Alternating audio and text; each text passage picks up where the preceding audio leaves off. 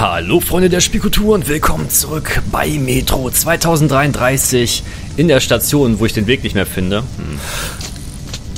Mal eben eine Maske, obwohl ich glaube, ich bräuchte sie eigentlich gar nicht hier. Okay, das Schloss kann ich nicht aufschießen.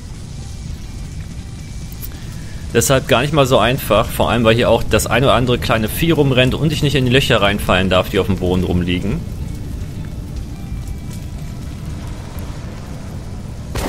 Genau, von hier bin ich ja gekommen. Hier war ja der andere Safe, den haben wir ja geöffnet. Also, na?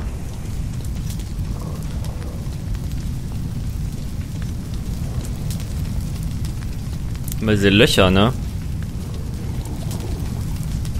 Wodurch die Viecher kommen. Ich höre dich.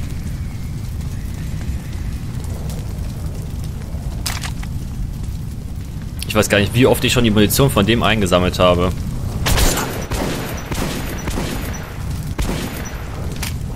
Verdammte Mistviecher. Tja, als wenn du wüsstest, wenn ich nachlade, ne?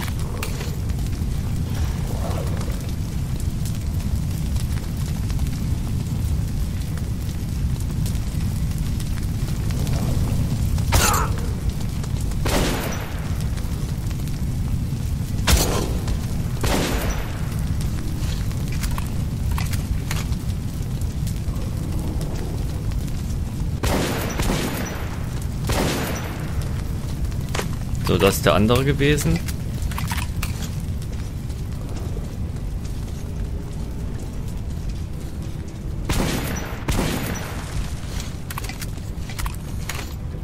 Vor allem so tief sind die Löcher gar nicht. Komm her.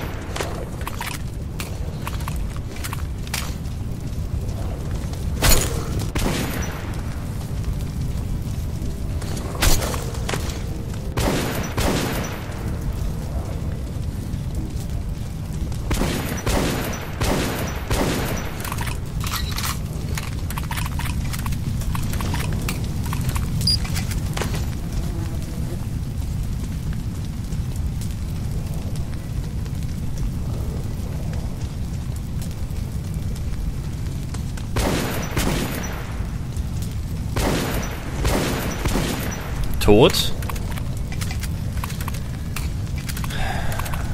Na, kostet mich gerade unnötig viel Munition, oder?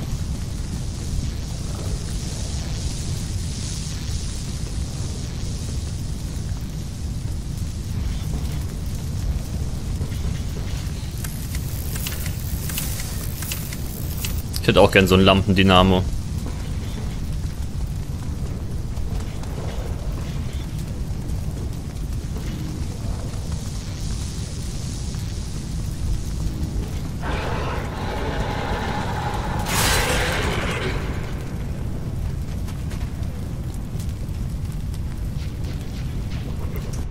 Okay.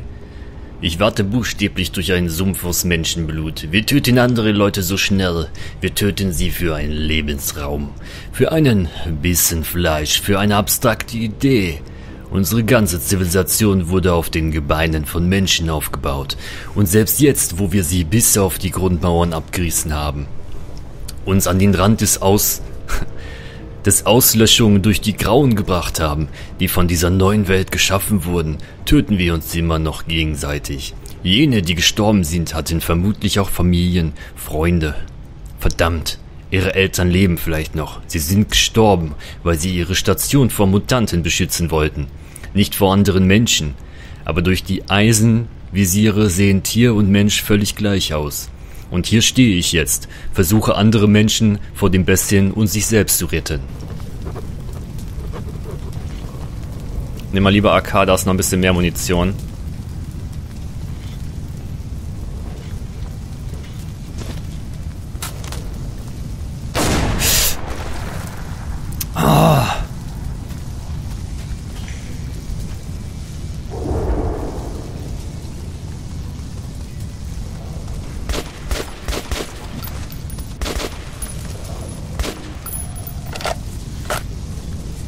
Aber die Viecher kosten echt Munition, ne?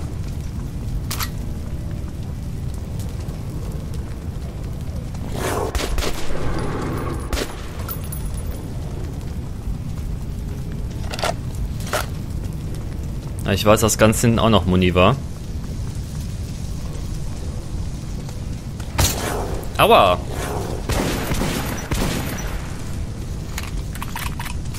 Ich hänge in der Schiene so halb fest. Du wolltest wahrscheinlich gerade durch das Brett kacken.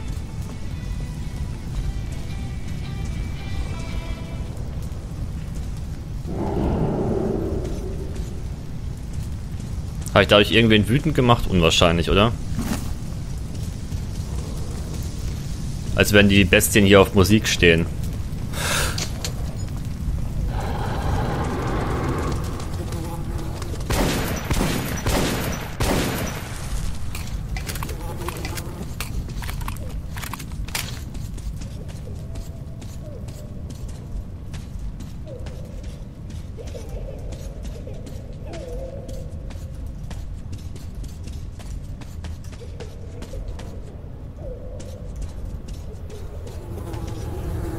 Vor allem, wie schnell die abgefressen sind, ne?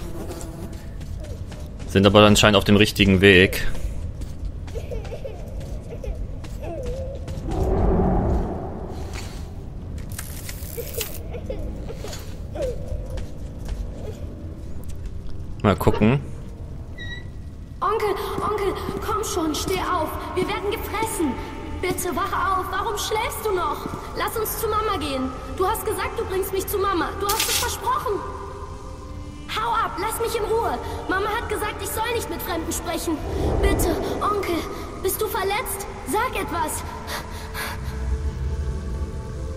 Wacht nicht auf. Ich glaube, er ist tot. Er ist tot, oder? Wie komme ich jetzt nach Hause? Du nimmst mich mit? Ich kenne dich gar nicht. Aber wenn nicht, werde ich wohl von den Monstern gefressen. du hast eine Waffe? Okay, dann sollte ich wohl mit dir gehen. Du kannst Monster erschießen, oder? Okay, mein Name ist Sascha. Du schießt und ich gebe dir Rückendeckung. Klettert ihr auf meinen Rücken? Och du Kacke. Ich hasse es, meinen Onkel hier zu lassen. Ich habe meinen Onkel besucht. Er wollte mich nach Hause bringen, als die Monster kamen. Sie sprangen ihn an. Er begann zu schießen, aber dann hat ihn ein großer Nosalis ins Genick gebissen. Aber Onkel ist wirklich stark. Er hat ihn mit dem Messer getötet. Du siehst. Diese Kinder in der Metro. Manchmal habe ich das Gefühl, dass jene, die im Untergrund geboren wurden, nie die Sonne gesehen haben.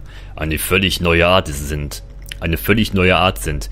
Dieser Junge ist gerade durch die Hölle gegangen, hat nur aus purem Glück überlebt und er verhält sich, als sei nichts gewesen. Er spricht ruhig und rational.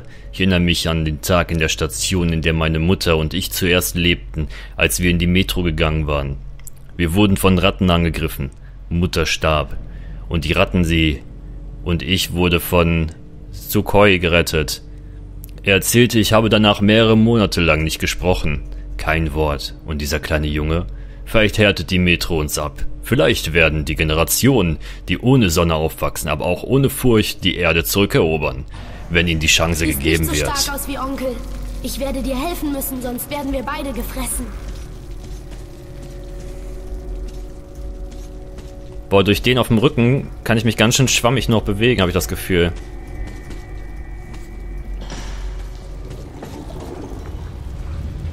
Da!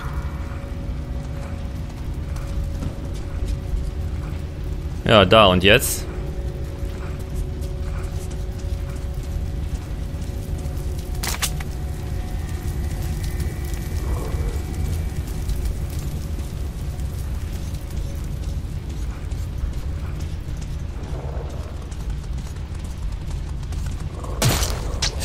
Aua. Ach, da sind die Löcher.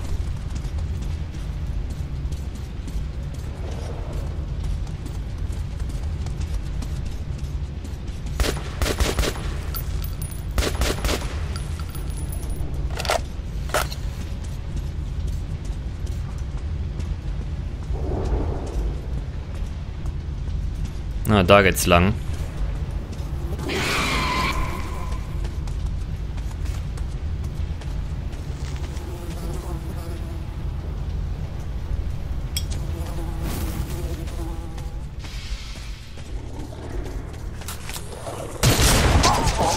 Oh nein!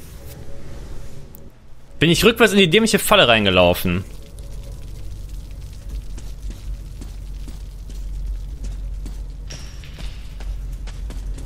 Dabei, dabei.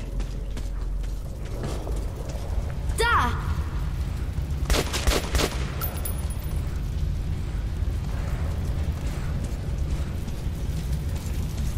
Ich bin nicht 100% sicher, ob der da unten reingelaufen ist. Oder ob der tot war. Da ist noch einer! Dämliche Löcher! ah.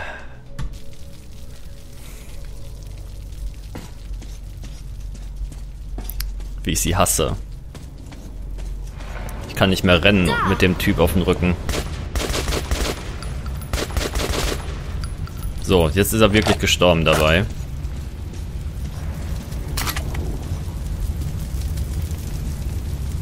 Wie wär's, wenn der Junge sowas sagt wie Achtung, Loch voraus?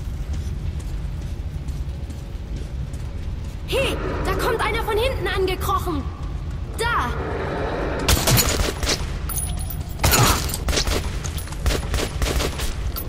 Da ist noch einer!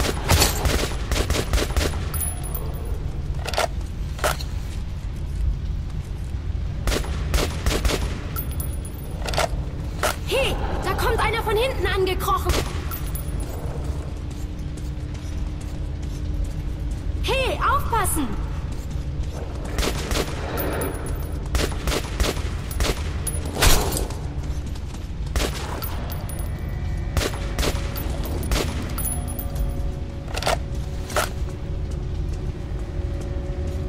Bin nicht so, ob, das, ob du wirklich Hilfe für mich bedeutest. Da!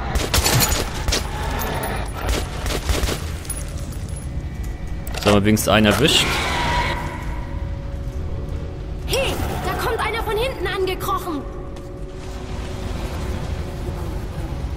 Wie auch immer du ihn sehen wolltest.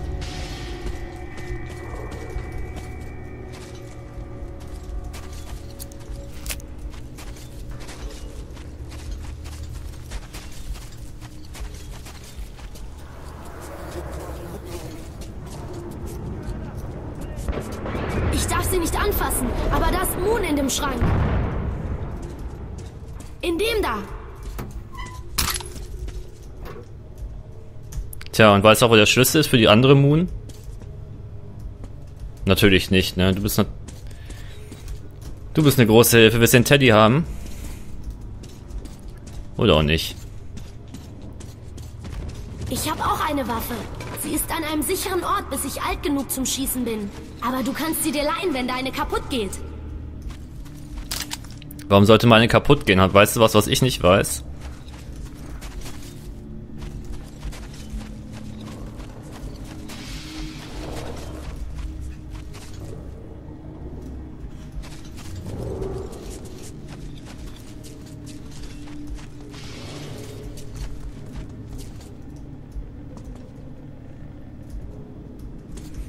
Eben ganz kurz das Licht aufladen. Da ist noch einer. Krass, oder wie die darauf gewartet haben, dass ich mal meine Sachen, beziehungsweise meine Waffe wegstecke.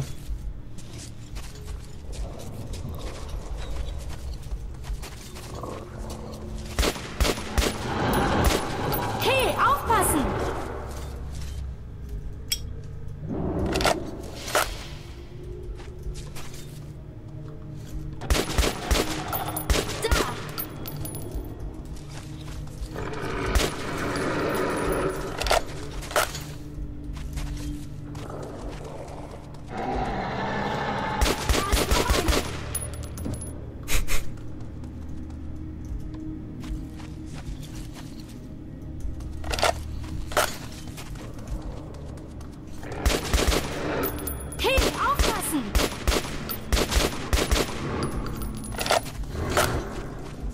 Da ist noch einer!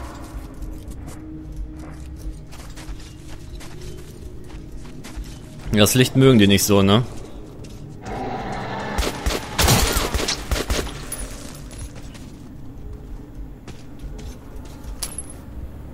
Bisschen Mund.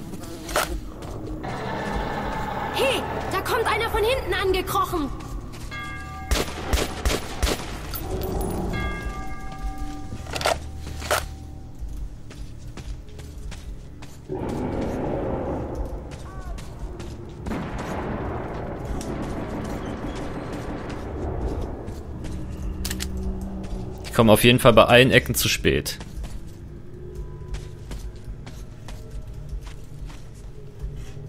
Hey, pass auf, da ist ein Loch. Danke. Und da auch. Die Leute sollten hier drin keine Granaten werfen. Mama sagt, die Decke ist schwach und könnte einstürzen. Hey, aufpassen!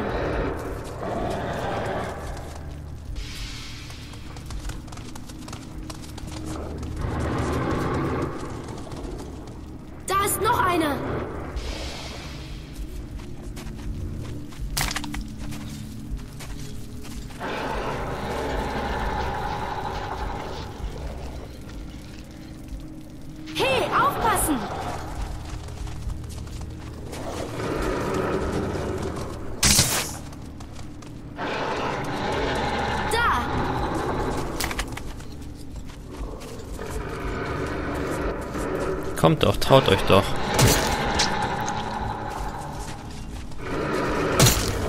Hey, da kommt einer von hinten angekrochen. Ich weiß, deshalb sind wir auch ein bisschen vorgerannt.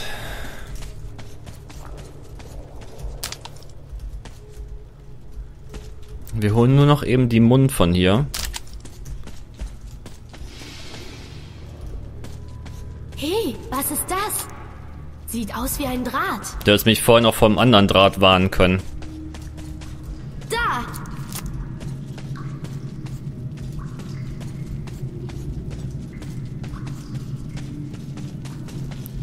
Meinte sowas wie, guck mal, da, Draht.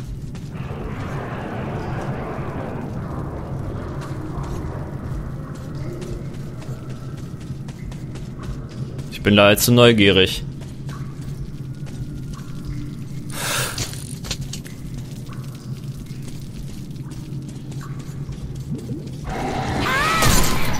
Boah.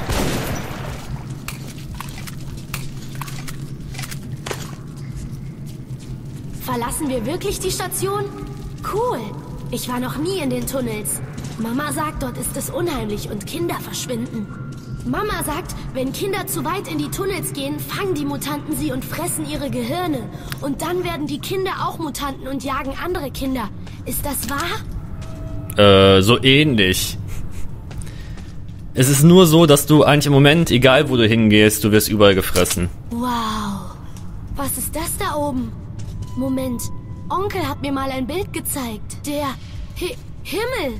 Das ist der Himmel, oder? Wie eine bemalte Decke. Ich, ich werde berühmt. Ich habe den Himmel gesehen. Du wirst nicht berühmt, du wirst sterben, wenn wir zum Himmel hochgehen.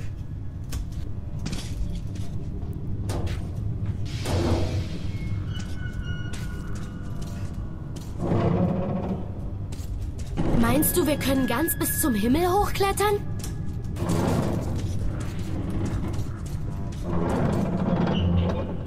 Moment, so hoch wollte ich doch gar nicht wirklich. Lass mich nicht fallen.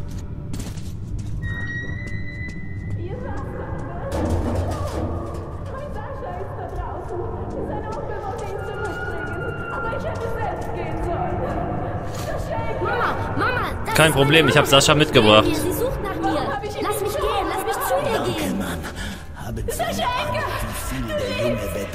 Sein Vater ist uns allen wichtig. Und wenn sein Aber Sohn gestorben wäre, hätte ihn das umgebracht. Onkel ist tot, Mama. Ohne Aber ihn dieser Mann hat mich getragen. Auf seinen Schultern. Ich habe ihm geholfen, Vielen die Monster Dank. abzuschießen. Mama, ich habe den Himmel gesehen.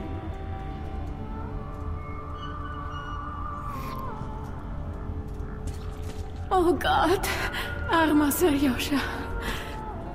Danke, dass Sie meinen Sohn gerettet haben. Das kann ich nicht wieder gut machen. Aber nehmen Sie diese Patronen. Wenigstens etwas. Behalten Sie die Patronen.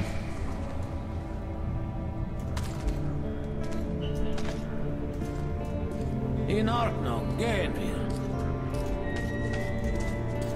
Hm. Die schwarze Station ist nicht weit von hier. Aber der Tunnel führt in die andere Richtung. Sie müssen an die Oberfläche. Seien Sie vorsichtig. Neue Monster sind hier aufgetaucht. Faschisten. Sie haben in den zerstörten Gebäuden draußen einen Posten errichtet. Auf dem Platz finden Sie eine U-Bahn-Kreuzung, die zur schwarzen Station führt. Die Jungs werden Sie rauslassen. Ich wünsche Ihnen viel Glück, Ranger. Danke, übertrieben nett bist du. Zwischen den ganzen Flüchtlingen hier.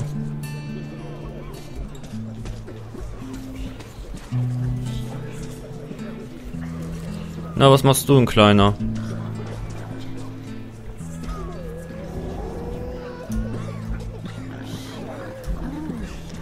Hauptsache es gibt noch Schweine. Für die Rettung ihres Kindes bietet sie mir ein paar Patronen, als wenn ich eine Wahl hätte. Aber was früher normal war, scheint jetzt seltsam zu sein. Und was die Welt früher angeekelt hat, lässt heute niemand mehr die Nase rümpfen. Was soll ich tun? Die Belohnung ablehnen und sie beleidigen? Die Belohnung nehmen und zugeben, dass ich ein Kind gerettet habe, nur um eine Belohnung zu erhaschen? Die Tage, in denen die Menschen leben, ein Menschenleben, ein Kinderleben, unbezahlbar war, sind längst vorbei. Heute haben wir alle einen Preis. Die Patronen, die mir für die Rettung des Jungen angegeben wurden, scheinen ein guter Deal zu sein. Der übliche Preis für ein Leben liegt bei einer Patrone, gerade genug, um sie anzunehmen.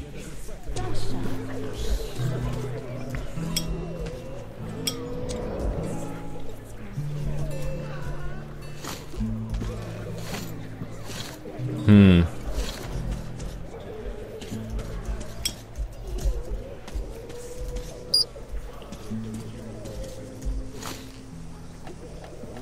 Ach, du bist Patronenverkäufer.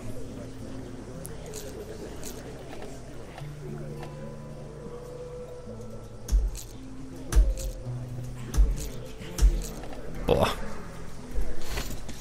Guter Deal. Angebote, Rabatte. Beste Waffen von den Spielmeister im Metro. Was hast du?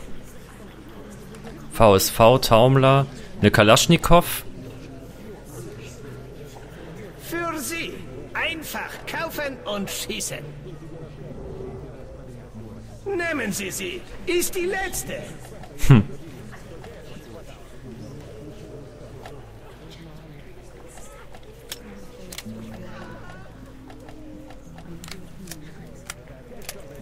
Aha, was Neues, größeres Magazin.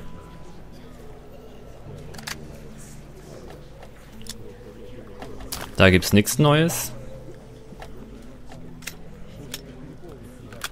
Luftdichtventil.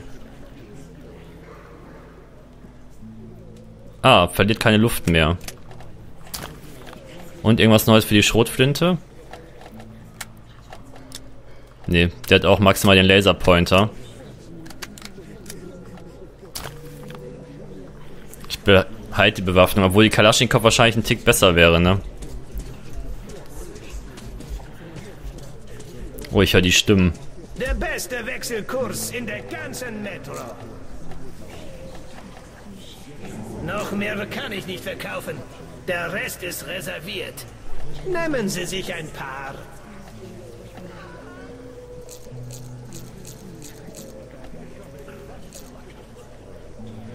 Hatte ich nicht vorhin auch schon zwölf Bolzen? Mehr habe ich nicht.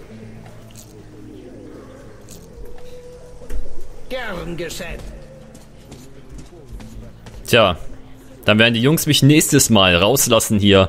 Weiter auf den Weg zur schwarzen Station. Man sieht auch, der Pfeil geht in die Richtung. Äh, eine Funknachricht soll ich absenden ähm, und mich an die Oberfläche begeben und den Sender finden. Ich bin gespannt. Also, bis zum nächsten Mal. Euer Doc in der Metro.